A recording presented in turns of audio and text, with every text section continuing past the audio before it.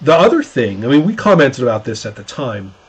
I don't think any of us expected the emergent moments of characterization that just plain using the plow powers available to you, hmm. Yeah. you know, actually generated. Azalea in particular came out with some moments that were like, aren't you supposed to write a thousand word backstory for your character? Aren't you supposed to like dream of these moments and rehearse them and Mhm. you know all this to make them happen in play? And it's like, no, it just busted out from completely unplanned juxtaposition of God Mm. knows what in that moment. Yeah. Um, I found the game actually to be really rewarding at that level. That's what I was living for. You know, by the time we played a couple of sessions, I was like, "That's what I'm playing for. I'm playing for these moments where these characters just totally, you know, get their get their big panel."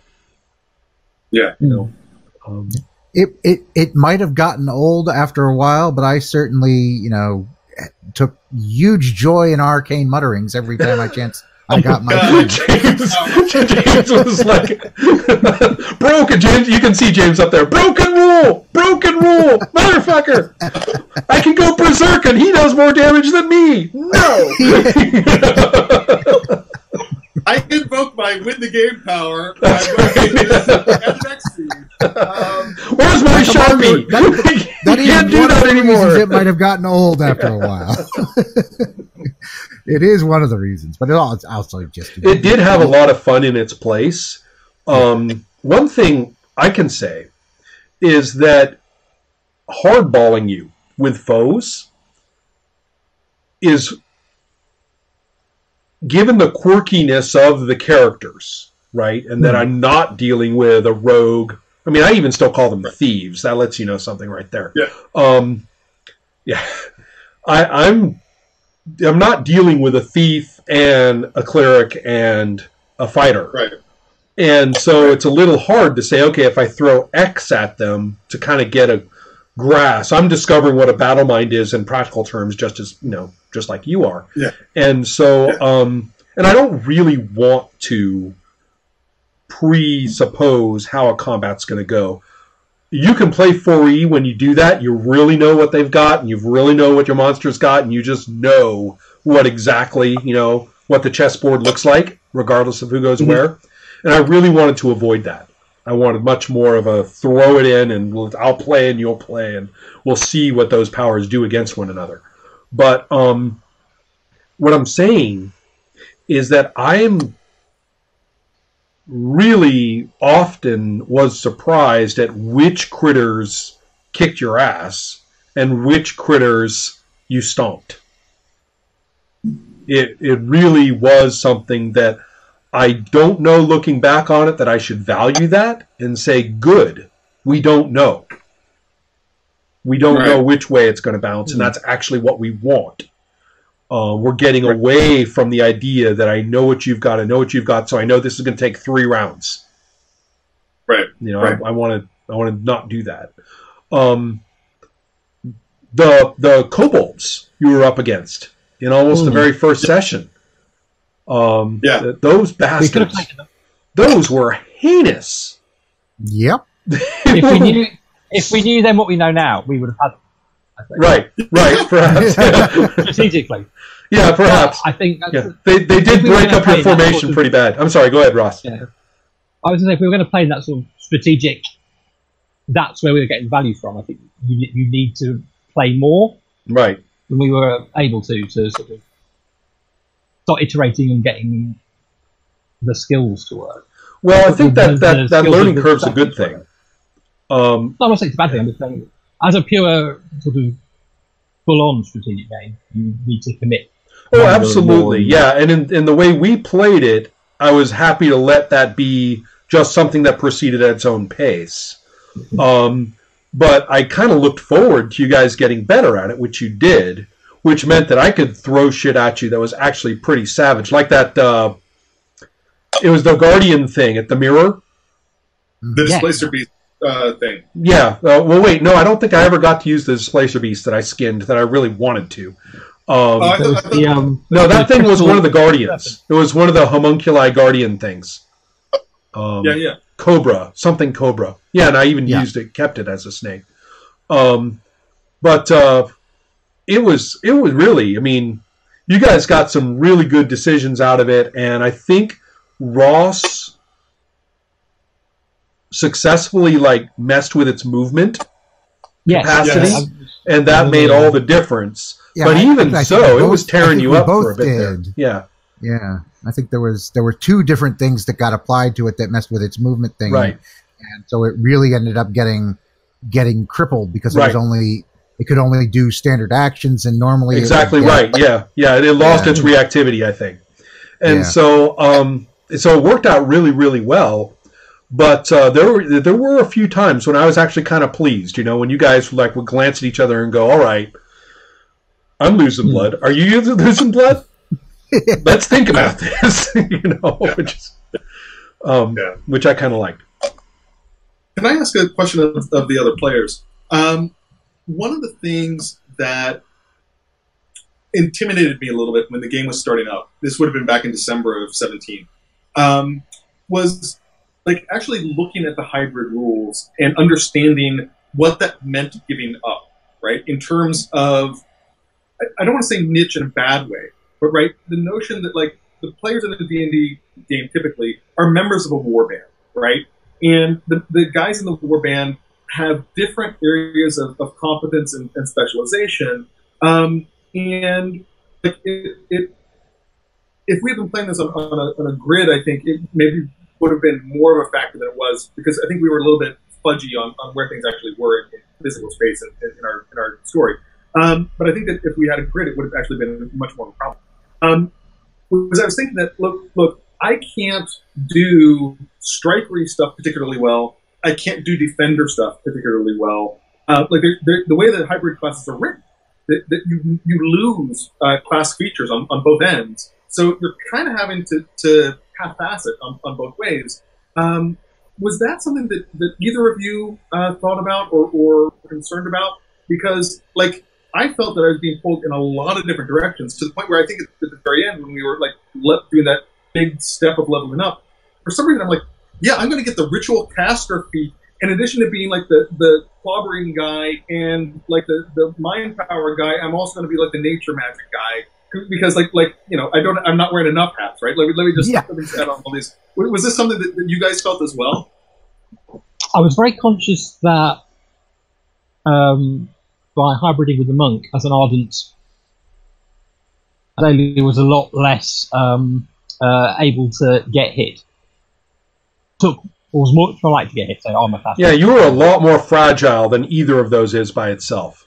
That's true. So I kind of I kind of went into that by going for a couple of things that then triggered off being blooded and things like that. Yeah. Um, but I think the other thing that made a bit of a difference was the way the um, a lot of the encounters went down was that then we were uh, cutting across fighting things and skill challenges, Yes. Yes. which kind of add, Yes. added yet more things to different directions to pull you in, but also kind of opened up different opportunities to direct how those overcome some of the sort of limitations of the slightly uh, not optimized choices you had to make as, as hybrids with limited options for hybridization.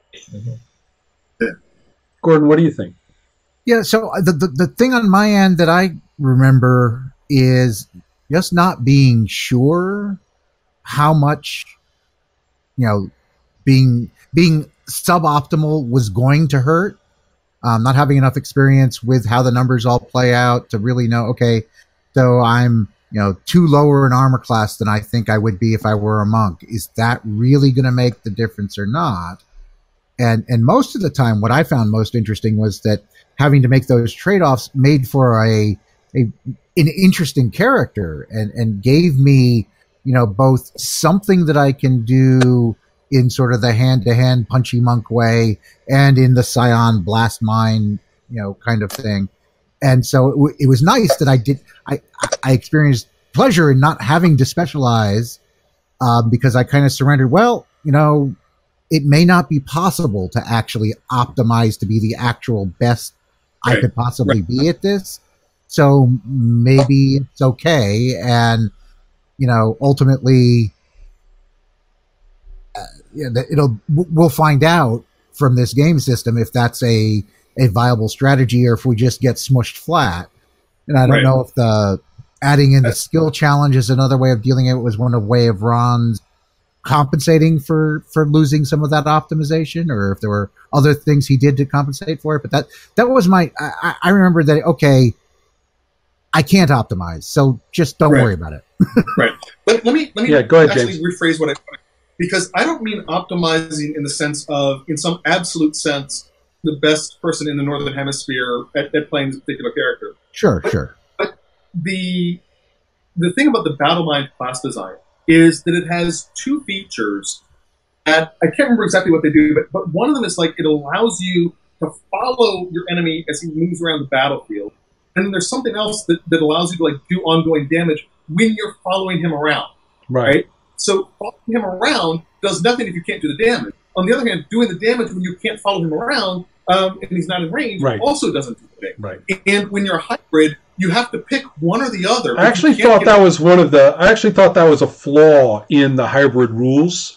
Was particularly for the for the psionic characters was splitting the two aspects because in the in the psionic classes the two features you got were actually quite well chosen, and the battle Yeah. mind in particular I kind of you know was sad that they they split that. Um, and and so Uh-huh. but what I felt was that like, man, how do I even do my job? It's not a question of optimization. It's like, yeah am I am I competent to do this at all? And one of the things that I that I I don't normally uh, look on RPGNet for this kind of thing, but like I did look, you know, what they had to say about the battle mind, and a number of them said, look, even a single class battle mind is pretty weak at this defender thing until he hits level seven, and then there's Right. some sort of like powers that they get there that, that suddenly they can actually keep pace and maybe even be a little bit better than most other defenders. But like I remember thinking, like, man, do I even have the right tools for, for this particular thing? It's not a question of like being great at it, but like, can I even can I even do this? Right? And so it was yeah yeah and i guess that, that that will be very class dependent like you know i i figured okay i can punch somebody and i can zap them with my mind so i can be a monk and a psion. You know i, di- I don't need lot more than that in order to the monk actually some is the one that was hurt worst by the hybridizing because the the monk's flurry um, in a uh, in most of the hybrid classes you basically just combine the two weapon sets. And Right. if you have powers that apply to weapons then they apply to all your weapons even the ones you get from the other Mhm. class but the monk Right, right, can't the monk can only apply to a monk weapon. So you can like have a longsword for your ardent, but you can't use a monk power. You can't flurry with it, and or Right. any use any of the other monk powers with it, and that's really painful. It's a big drop in effectiveness, and that's why I really recommended sticking with the staff and the spear, because that would you know that would that would that would apply. You could you know use it. Yeah, the, Um, the implements to say use. But the um, but in the case, uh, well, the thing I was going to say, it taps into a little bit of what Gordon was saying. Since you didn't have a choice of monk versus monk hybrid or ardent versus ardent hybrid, the strength of the build on its own, of the class on its own, wasn't part of the game. So fortunately, that wasn't a genuine loss in terms of comparison with somebody else playing something else. So I Yeah. learned I learned that in the first round when I did this, and I rebuilt my structure for the game uh, on from that insight. And if you'll note, if you if you look at the the, the structure we used, it was a controller or defender or a leader. Um, and then everybody had to hybridize, and the only two things you could choose to hybridize with, one or the other, were strikers. right Yeah. So therefore, Yeah. it was very, very structured. Everybody was half a striker. Yeah. And um, I did that as carefully as I could. And in Right. using the tools that, you know, clearly being in the Player's Handbook 3, clearly the hybrid rules, especially because they were working with all those different classes, Hmm. we Yeah. know they weren't play tested thoroughly. We know. Right. And so, um, you know, I can see how we're going to find a couple of gaps or a couple of tricky parts here and there. There's even a paragraph Yeah. in the book saying, look, once you start hybridizing, a Yeah. whole bunch of careful balance stuff that we built goes out the window. So beware. And um, my take, though, was that if certain advantages of the full build for a given class were gone or lessened greatly, I was hoping that we would find emergent properties of the combination to Yeah. strengthen instead.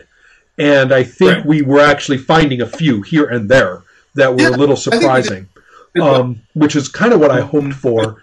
And uh, oh, you'll also notice that since I was going with raw aesthetics for its race and character class, and I love the fact that it worked out this way. Just loved it. There was not a single race whose pluses were optimized for their class.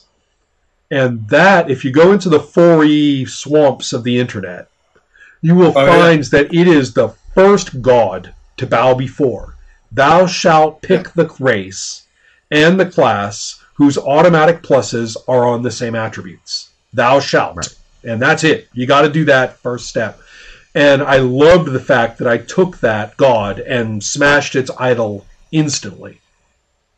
Right. And um, it's difficult to see why it's so important when you can pick the rest of your stats. With It's not. You want. That's It's the like- point. It's just another plus two, and you get tons of other plus twos from powers and feats and everything. It's actually not structurally that big a deal, but it it it's uh it's immediately accessible. Pick the right race, pick the right class, get your plus four, get your plus four, and you're done. You know, and it feels good. Right or wait, you don't get pluses from the from the class, but what you do is you have the the attributes that are maximized for it, or do you? Whatever. The ones But that- the point is, you pick them, and and you bump up and you really feel like you have chosen you have you have done the optimal thing and you feel good about it and i think it's the charge of feeling good about it that people are not going to let go even if it doesn't Well, yeah, and I think that that's yeah I think to an extent that's that's a carryover from the 3035 yeah um, where you know as opposed to um, not stressing out about all your little pluses and pluses from here and there. You do really need to stress ab- out about it. And you know they they in fact uh, flat out stated that we're designing this with system mastery in mind right. so that people can get that little charge of i'm the Right. clever player who knows that you know you don't take this feat you take that one. Right. In the very very earliest versions of the game, um, getting any kind of plus at all was was difficult in, in zero E, and then in first edition and in basic, uh, they sort of standardized it a little bit. But yeah but- first edition they had your armor your weapons versus armor table which everybody forgot to use in Yeah. play Um, Yeah. Um, but like in basic, if you had a, an 18 strength, for example, you had a plus three to hit at level one, right and when else at best, just on their class, had a plus one. So you don't, as a fighter, you don't get a plus three to hit until like fifth level or something. right So, so having that that stat bonus really does make a difference. I mean, it, it's I think it's bad form to actually care about your stats that much in basic, but nonetheless, I do understand why people do care about it. In fourth edition, all that stuff like wash comes out in the wash. I mean, you can get it with a feat if you can't get it through your race. right The one thing about the race, so that does matter, is that encounter. Right, that as a minotaur, I had a charger, like a ability to charge somebody. the goring charge if I yeah been if I had been a wizard, the hell, what am I going to do with that? Right? Like that, that's that's that's dead weight. Um, there's a couple of classes that are races that have like the ability to teleport, right? Which would be very useful for a wizard, but not very useful for, for somebody who needs to like plant themselves somewhere Right. and stay there. Um, and so I can get why why that mixture with a class does make a difference, but I never saw the analysis talk about that. Right? It, like no Right. one would ever say. Like you got to be a gnome because the gnome is really good at I don't know being an, an avenger or something like that for the following reason it was always just like you get a plus two to this and a plus two to that, and that's what you need. right You're not impressed. Yeah, yeah. Well, I was kind of glad not to like even make that particular temptation available, and that you just Yeah. had to kind of say, you know what, um, and and everybody was in the same boat. One thing I, I reviewed when I was setting this up was that there was no monster choice that obviously outweighed the others, um, and I and I remember thinking. If somebody goes into this and then starts using kind of the, the optimizing approach, they're going to keep hitting a brick wall whichever way they turn. I did. Yeah, yeah, and I but but, but everybody was, and I was okay with that. Now that's where you are. Play that, Yeah. and everybody's in that boat. We're all going to be in that boat and we're going to make that our own brand of optimal, Right. In some way, Right. Um, which was Right. what I was hoping for.